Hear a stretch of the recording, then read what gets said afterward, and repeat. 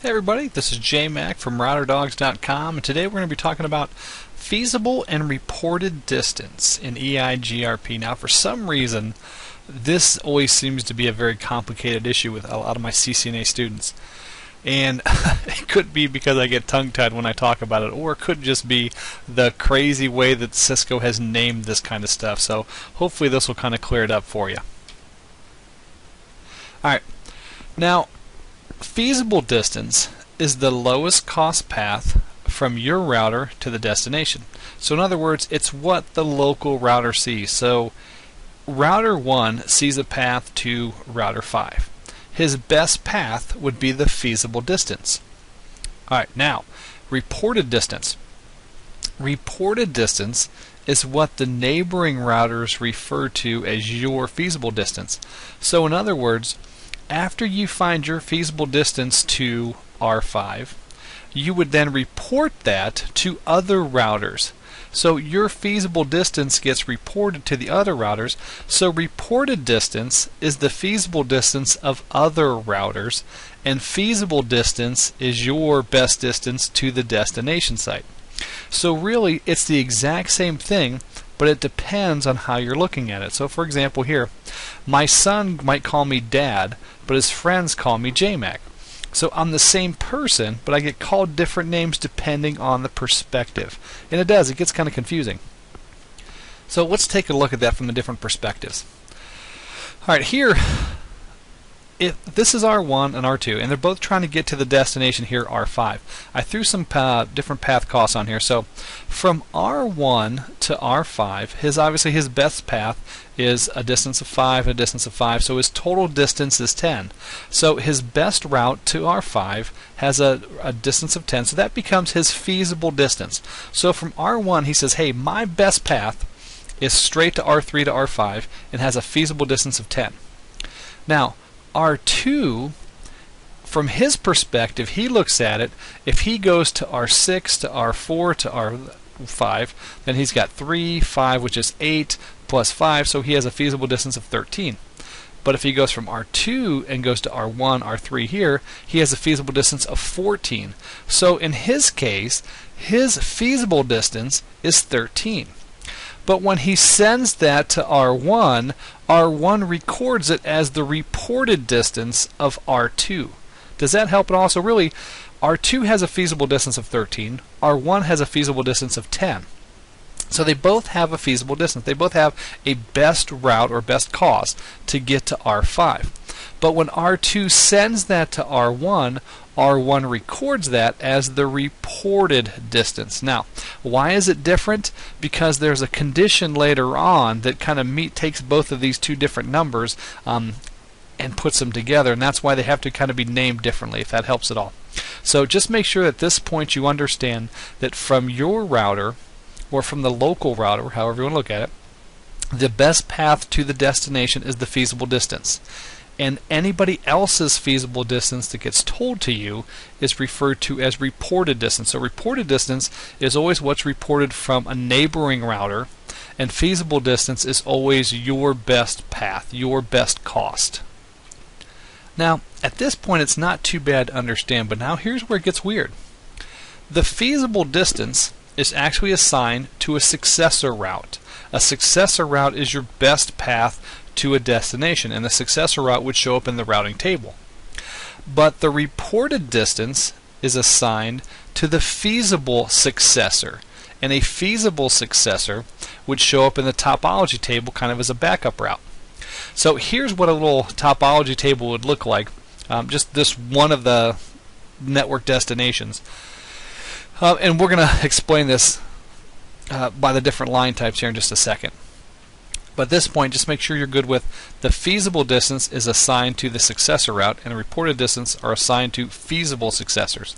And moving that and getting worse. So the successor is the lowest cost route to a destination, and that route again gets placed in the routing table. The feasible successor is a backup route or secondary route that meets the feasibility condition. And we'll talk about that in just a second. But the feasible successor is not in the routing table, he gets placed in the topology table. Remember, EIGRP has three tables. It has a routing table with the successor routes, the best path to the destinations. It has a topology table, which is the backup paths to destinations. And then it has a neighbor table, which we'll talk about in a different video. So successors show up in the routing table. Feasible successors show up in the topology table. All right, let's talk about that feasibility condition again. The feasibility condition says, in order to be a feasible successor, the route must have a reported distance that is less than the feasible distance. So here's why they named them something different. We can't just say that the reported distance is actually R2's feasible distance um, because then this it would be really hard to map this out. But we can say if we call it, if everything get that gets reported, we call reported distance, then we can make this condition work. So, in order to be a backup route and be listed in the topology table, the reported distance has to be less than my feasible distance. So your first question is, why does there have to be a condition? Why don't we have all the possible backup routes um, from one point, uh, from our network, you know, in our router? Well, the reason is one, it would create um, routing loops, which are bad. Uh, second thing is, it would also fill up our routers with so many secondary routes that are kind of worthless. Uh, and it would take a whole lot of more processing power, memory, things like this. So it would slow our network down considerably. So between routing loops and the slowness factor that you would get, we don't want that. We only want good backup routes. All right, so let's talk about that topology table again. Now, here is one entry from the topology table. So in order to get to this network, 172.17.00.30, it says there's one successor. So if it says there's one successor but there's two entries, the second entry must be the feasible successor. So your topology table will also list the successor routes as the first route and they'll show it'll tell you the feasible distance is blah blah blah 4560 and then here for the primary route he's got 4560 so in order to be a feasible successor his reported distance the second number must be lower than the feasible distance. So in this case, he's 3560, which is less than 4560, so he does become a secondary route or a feasible successor. So in your topology table, you'll have a bunch of destination networks. You'll have at least one successor because there has to be a path to get there. Um, and then if there's other entries, they may be feasible successors or they may be equal cost load balancing paths or something like that. So you want to look, if this case had just had two entries and said two successors, we would have load balancing. But it doesn't. It says one successor. So here's the, the first one is usually the successor, and then everything else underneath that has to be a feasible successor, if that helps. All right, so what happens if a route does not meet the feasibility condition? Let's look at that. All right, back to our topology table. So from R2 to R5, he has a reported distance of 13. But from R1 to R5, we have a feasible distance of 10. So the feasible, we're, again, we're looking at it from R1's perspective. The feasible distance is 10, but the reported distance is 13. This means that R2 will not, the path from R2 to R6 to R4 to R5 will not show up in the topology table. And it will not become a feasible successor. Now, that does not mean that R1 will never use that path. If for some reason this link here goes down or this link here goes down, and R1 no longer has a path to R5 this way, what'll happen is R1 will then send queries out and say, hey, I don't have a path to R5, who does? Well, R2 would respond and say, hey, I have a path and it has a distance of 13. Well, at that point, R1's got to make a decision. I either can't get there or I can get there through a distance of 13. So he's going to take the distance of 13 so that path would show up then. So just because a route doesn't show up as a feasible successor does not mean your router won't use it. It just means your router won't list it as an immediate backup path. Um, but if there's a problem and he needs it, he will request that and he will get it and then he will use it, if that makes sense. But again, don't forget, it's always a matter of perspective. So when you look at these things, you have to remember where you're looking at them from. In this first example we just talked about, we looked at it from R1's point of view. But if I change this and now we look at it from R2's point of view, R2's best path is a, has a feasible distance of 13 and he goes to R6 to R4 to R5. But R2 has a reported distance of 10 because he can get there, there, there but R2 can't go R1, R3, R5 because then his distance would be 14. So in R2's case, he can either go right or he can go left. If he goes right, he has a distance of 13, which is lower, so that becomes his feasible distance of 13 but R1 has a reported distance of 10 because 10 is lower than the feasible distance of 13 the path to R1 would show up in the topology table for R2 and then if for some reason this path here between R2 and R6 broke R2 would immediately go to his topology table, find the backup path listed, the feasible successor, and then he would start sending data this way, you know, without having to send queries and get information back from all of his neighbors. So that's why the topology table is in there so that we can make decisions very fast um, and have a faster convergence. If not, then I have to send queries, I have to wait for the replies to come back. There's always there's a stuck and active issue that we'll talk about in another video, but it, it can take a lot longer. It can take three to four minutes to converge my network if a link breaks if I don't have those uh, routes in my topology table. But if we're in the topology table, the stuff happens pretty fast, um, and most of the time users won't even notice the difference. So again, it's all a matter of perspective. From R1's perspective, R2 would not show, his path would not show up in the topology table. But from R2, R1's path would because he meets the feasibility condition. His reported distance is less than the R2 feasible distance. Alright, so theoretically, if our network's designed right, that's how everything would work. But remember I also mentioned that um, the topology table and the feasibility condition helps us to prevent routing loops. Let me show you a quick example of that. Alright, don't make fun of my drawing, but you get the idea. So we're on R1 and we're sending to R5.